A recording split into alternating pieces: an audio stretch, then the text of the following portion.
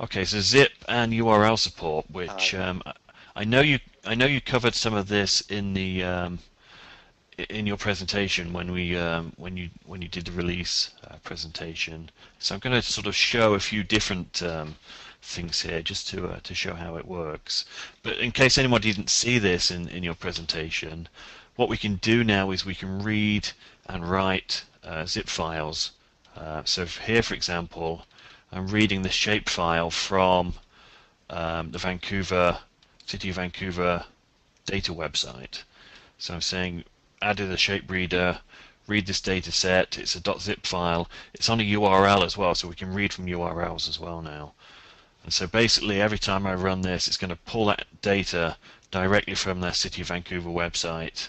Uh, so I'm, I'm always guaranteed to get the live data um, directly rather than a, a, an out-of-date copy that I might be using locally.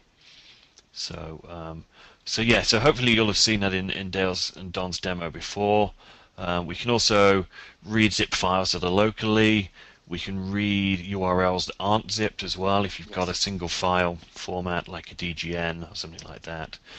Um, I'm not sure what would happen if you tried to read a shape file that wasn't zipped. I think you would need to have that zipped up. You're out of luck. From a, yeah, from a URL, yeah. Like but a DWG as, file will work, of course. Yeah, yes. So, um, but I, I, suspect most people who put shape files on a on a web interface will probably zip them up anyway. So. Um, mm-hmm.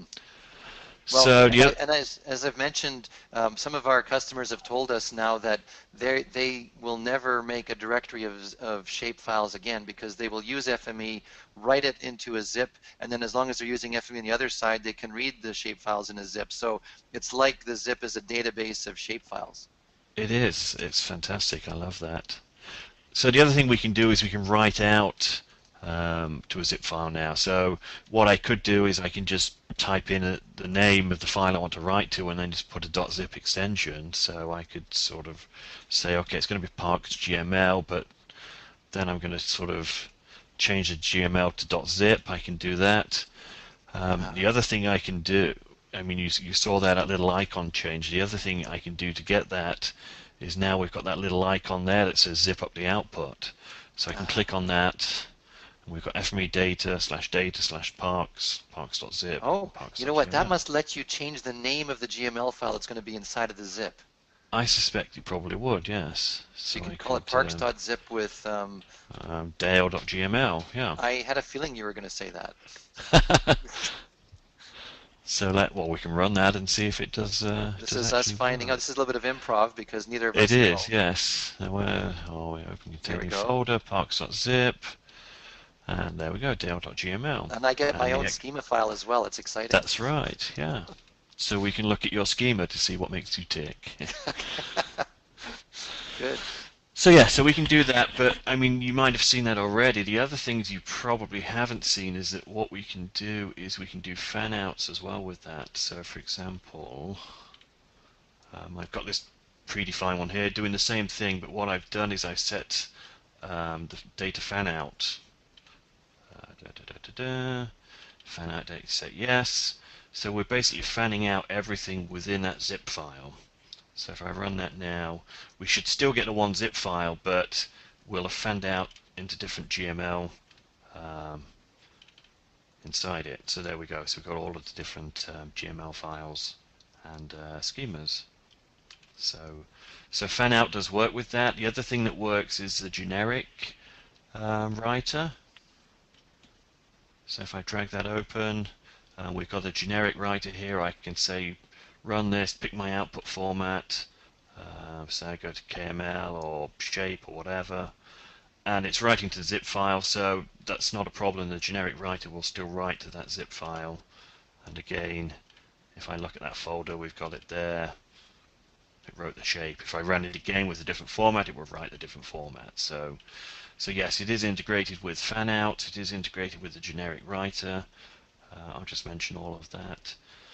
Um, the other thing it it sort of works with is, is server. Dale and I were discussing this earlier, whether it really works or not, but the re the results for sure. And I've been using this quite a lot. When I've run something on server, I say, okay, well I've got that there. Let's click on there, and it says what do you want to open it with, I just say okay, let's open it with the Universal Viewer, and uh, I can do that. I can just say this is shape. You've got to set the format because by default it thinks it's XML, but I can say okay, no, this is really shape, and um, it should read back the results of that translation. So I'm wondering if it's the ghost of Don Murray that uh, makes it think it's XML. That could be, yes. Um, I'm not sure what it why it thinks that, but uh, anyway, and and I thought it was possible to actually paste the URL of a of a server workspace in, in Viewer. I did get it to work for a time, but uh, we're not sure how that will work with um, uh, your password and login and that sort of thing.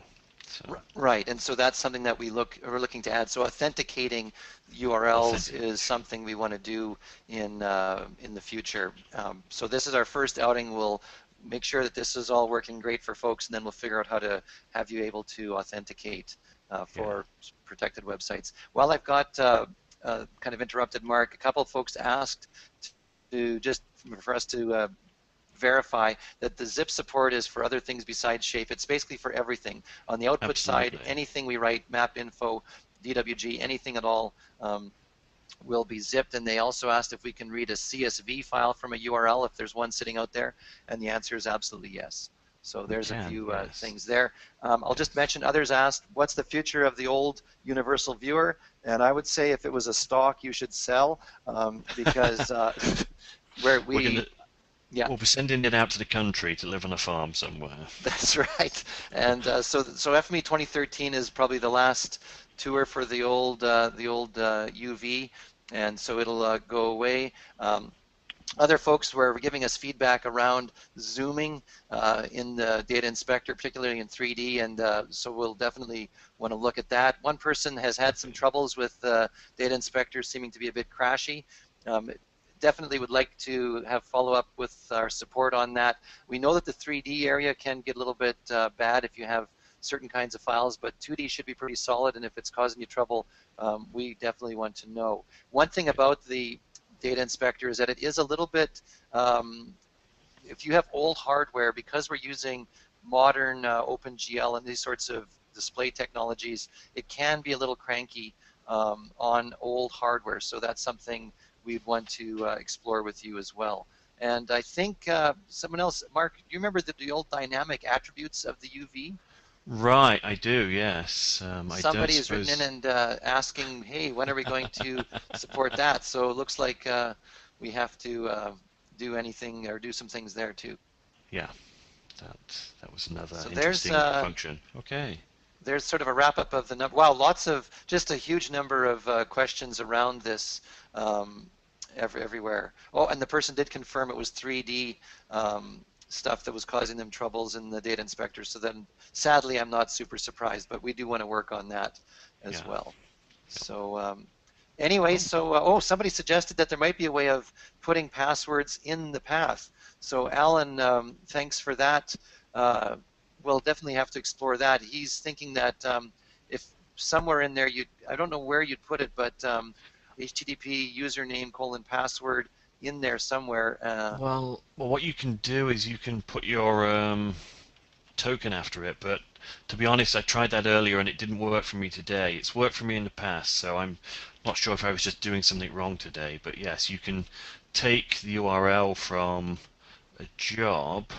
So we should be doing training. I don't know, pick a job. It's got a data download, configure you look at the developer info, you just say, let's take that and copy and paste it somewhere. Uh, and then add the thing on. And then add, yeah, then you, then you just say, and whatever it is, and token equals blah. And that should that should do be enough for security. But for some reason it wasn't working for me this morning, directly in the viewer at least. So um, I must have done something slightly um, incorrect.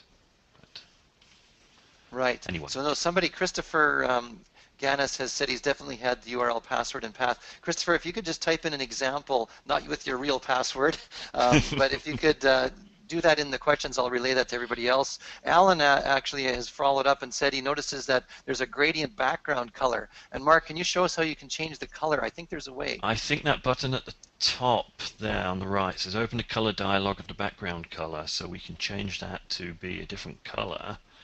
Ooh, that's pretty disgusting, but um, it, it is possible. And I know some people do prefer the black background um, on there. Um, really, you can't beat sort of that, um, you know, the sort of yellowy text on a black background, like the old VT220. Yeah. There, there and, you go. That's. And I don't know why it's got a, gra a gradient in there. Um, I, I, don't see any way to change that. So. Um, well, something for us to keep uh, working on. But yes, you can definitely do that. Yeah. So I, I like that. Yeah.